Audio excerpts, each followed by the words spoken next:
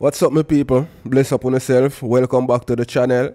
Leave a like and also subscribe to the channel and click that top bell icon to get notified whenever there's anything new on the channel. So as usual, my people, you know, we have some things I'm gonna share with you guys. So the first thing I'm gonna share, them say a partially burnt body was found in a St. Andrew, one place named Smoky Vale. See? The body of a man was found in Smokyville, St. Andrew on Sunday morning. The body, which up to publication time was still unidentified, was partially burned, the police said. It was reported that around 11 a.m., residents stumbled upon the partially decomposed body and summoned the police. On arrival, the body was seen lying face down along a dirt track. The body was observed to be partially burned the scene was processed and the body removed. Jaja. So let me know what you guys think in the comment section, my people. And we are going over in a Queens, New York, you know, where some stab up go on, some people drop out, and it is said they are Jamaicans. Seen? So make we get in it.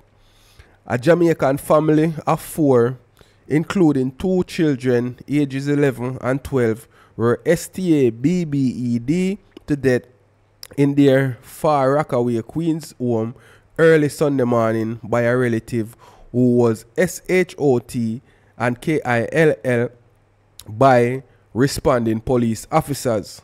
Courtney Garden, the 38 year old nephew of 61 year old Waxton who was injured in the incident was SHOT and him dropped out by the police after they respond to a 119 call. He was shot after slashing one policeman and stabbing another. Police reports are that one of the responding officers managed to pull his firearm and shot Garden who was leaving the house with a bag when he attacked officers as they stopped him for questioning. Reports further indicate that other officers who respond to the scene were unable to enter the home as fire had been set to a couch in the living room. The fire department responded and put out the blaze and entering the home, police found the 11 year old girl and the 12 year old boy stabbed to death, also stabbed and killed, was a 44 year old woman and a man in his 30s. None of them had, up to press time, been officially identified. Waxon was taken to hospital.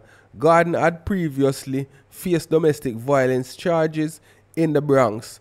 The New York Daily News reported that his sister told the newspaper that he was taken in to the Far Rockaway home by his aunt after he had become less home. You don't know what that means. Reports reaching our news team are that police had been called to the home on a number of occasions due to disturbances there. Jaja. This is sad, my people. You know what I mean? Even two little youth lose them life. So me I say this is sad. So me don't know if this person I suffer from some mental health issue or what. Cause me can't see somebody in them right mind really do this to them family. You know what I mean? This is very sad and disturbing.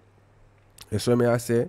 So let me know what you guys think in the comment section. Like and subscribe people.